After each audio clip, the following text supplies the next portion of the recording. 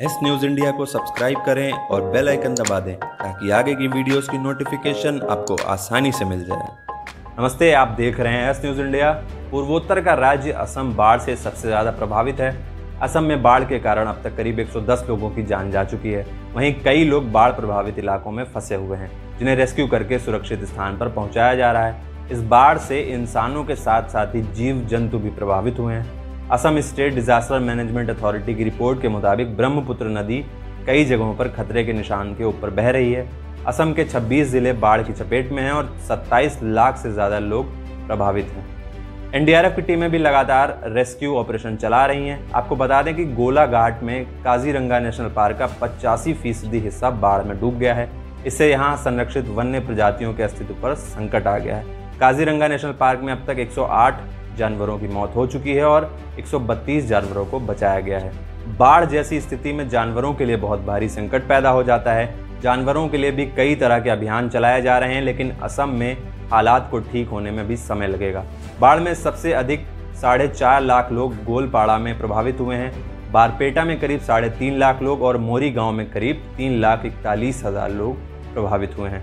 प्रधानमंत्री नरेंद्र मोदी ने फ़ोन पर असम के मुख्यमंत्री सर्बानंद सोनोवाल के साथ बाढ़ संबंधी हालात को लेकर चर्चा की है। उन्होंने असम में बाढ़ के कारण पैदा हुए हालात से निपटने के लिए रविवार को राज्य के हर संभव मदद मुहैया कराने का आश्वासन दिया है।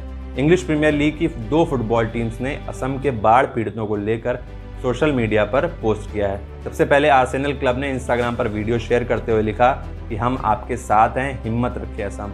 इस वीडियो में असमिया भाषा का भी इस्तेमाल किया गया है। आर्सेनल इंग्लिश प्रीमियर लीग के टॉप टीम्स में शुमार की जाती है।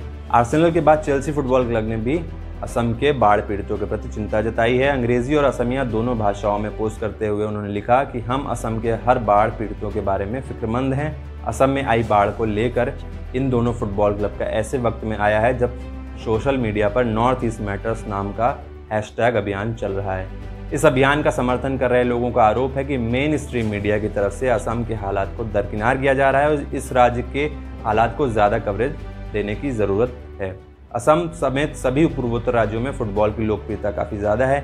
इसी को देखते हुए आर्सेनल और चेल्सी ने इस मुश्किल घड़ी में अपने फैंस को याद किया है। भारतीय फुटबॉल टीम के कप्तान सुनील छेत्री ने ट्विटर पर लिखा है कि दुआओं के साथ साथ असम पर ज़्यादा ध्यान देने और हर मुमकिन मदद पहुँचाने की ज़रूरत है, ताकि बाढ़ से पैदा हुई मुश्किलों से निजात मिल सके। वहाँ इंसानों और जानवरों की ज़िंदगियों को काफ़ी नुकसान हुआ है। मैं यही उम्मीद कर रहा हूँ कि हताहत की संख्या ना बढ़े। बाकी खबरों के लिए चैनल को सब्सक्राइब कर दें और बेल आइकन दबा दें ताकि आगे की वीडियोस की नोटिफिकेशन आपको आसानी से मिल जाए।